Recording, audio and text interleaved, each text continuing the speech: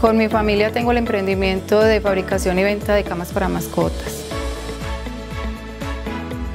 Cuando era empleada, mi caja de compensación era con Finalco. A mi correo me llegó una notificación para aplicar a un subsidio que gracias a Dios salí beneficiada.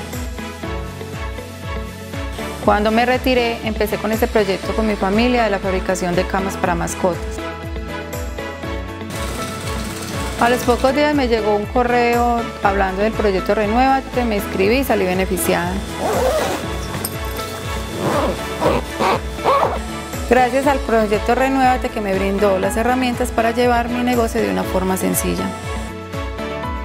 Me ayudó a llevar mejor mis finanzas y aplicar las redes sociales a mi negocio.